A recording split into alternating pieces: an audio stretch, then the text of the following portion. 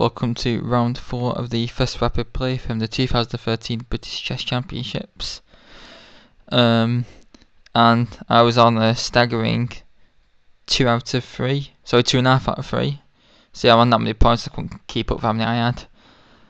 And I was expecting and maybe a 200 plus grade at least, but I actually got the other surprise package, which was David Fryer, who was 2003 FIDE and 178 ECF. Now, although this is um, still quite a strong player, a lot of people, was surrounded by 200 plus grades. It was at like board 4 or something, above Mark Hebden. Um, so I could do again a result. If I, I, thought if I get a result in this game, I'll probably get um, a title next round or someone very strong anyway. But of course, I wanted to win. I played e4. He played d6. So I got very excited now, looking forward to maybe an Austrian attack hack up. But after d4, knight f6, knight c3, he played e5. So we are now transposed into a Philidor's. Knight f3, knight bd7. Uh, the best line probably is the Shirov Gambit in this position with g4. But I don't know the theory, and he probably does. So he's played a very modest setup actually. I didn't, I didn't even castle queenside. I played h3 stopping the knight g4s. Put the bishop on e2 because if if you put the bishop on c4, it can be hit by stuff like b5 or b5. Uh, castles, whoops. Both castled. I, castle short in the end. Um, I don't think my setup is very aggressive, so it doesn't justify queenside castling. And I went a bit crazy actually, because he played b6, which shocked me. I expected b5, queen d2, queen c7. After rook a d1, he played a6 as well, and they all played this inst instantly as well. I think he had 21 minutes at this point. So he's put his pawns on a6, b6, c6, d6 for some reason. And this is far from the ex, ex, the only eccentric thing he does, because in one of his games he played e4, c5, queen h5, and won with it as well. Which is, of course, a very Patz-like opening. Um, so, I decided to think of a plan, and I tried to reroute the knight round. So I played knight h2, which is perhaps not the best move. I wanted to unblock the f-pawn and get some attack going. Maybe just something like king h1's better. Trying to wait to see what black does. After knight h2, at least he got him thinking. He decided to relieve the central tension.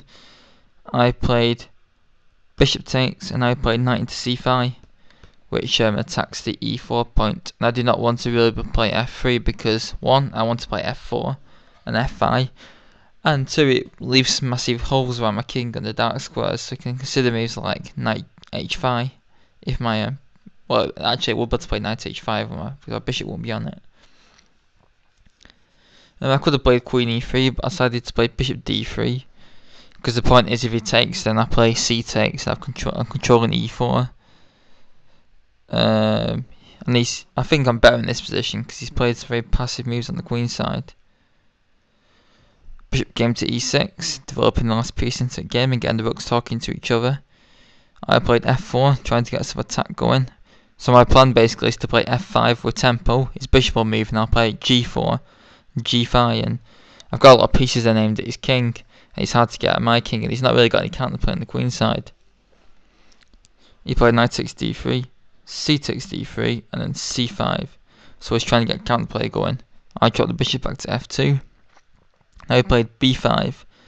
So, I, so I've got to be quick now because he's going to play moves like b4 and c4 and try and rip open files on the queen side and his heavy pieces will infiltrate. Um, so I decided to play f5. And I, I was happy, I expected his bishop to move. Yeah, I'll play g4 with g5 and f6 idea, stick the king in the corner. The computer, like Rybka, does not actually like this plan but I like it and it's rapid so it's very dangerous. But he played b4 and I was like, hmm, I've not considered that move. So it does lose a pawn, but he does get some counterplay for it. Um, so what's his point? Well, the only actually really good move I've got actually is to take the material as well because if I move the uh, knight I have to sacrifice my a2 pawn. Say knight e2. I think he can get away with taking this. I didn't. I didn't really see enough attack in return for it. I, don't think it's worth a pawn the potential attack I might get.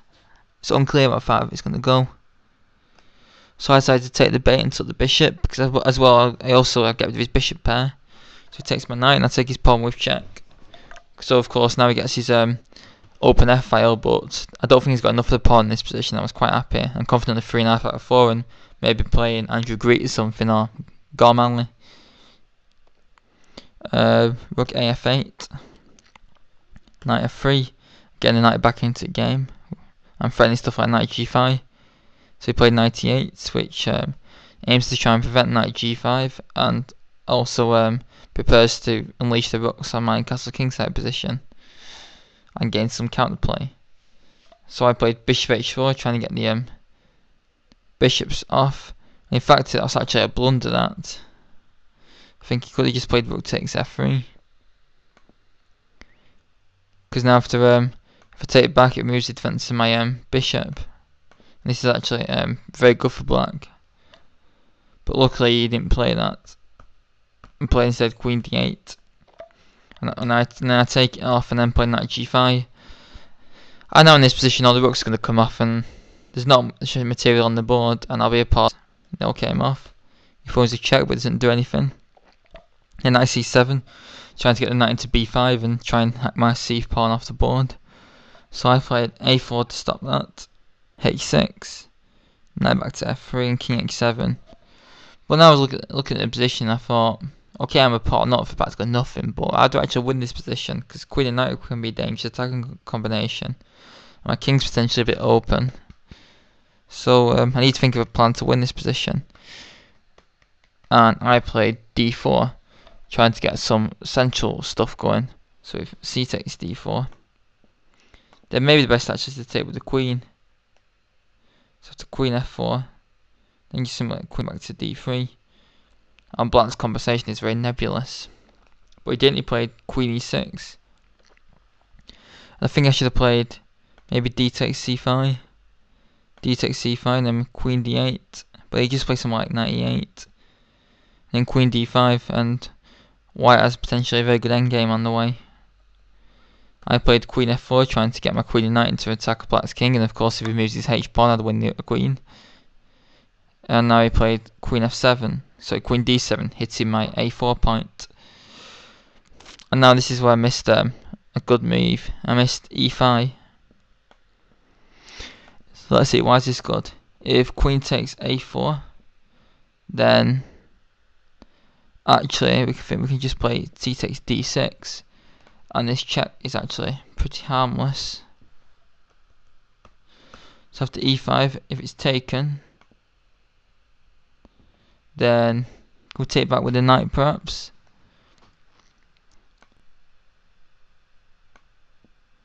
Then queen takes a4, I've got maybe queen f5 check.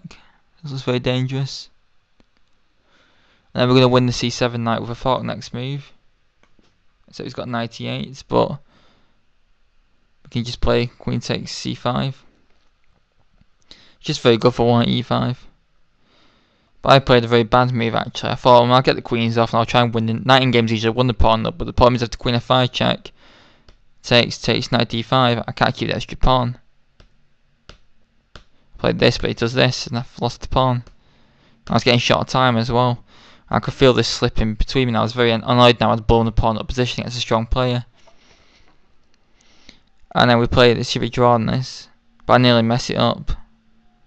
In fact, after a5, king e2, king g6, this. I played knight b3 and offered a draw and he actually rejected it. Because actually his king's getting very close to winning my pawns. But luckily um, my knight just back in time. And then he offered me a draw at this point which I accepted. So I was very disappointed not to have won. Um, so that's a pawn not for nothing, but it happens. And 3 out of 4 still a very good score, and another draw against someone a lot higher rated to get some FIDE points.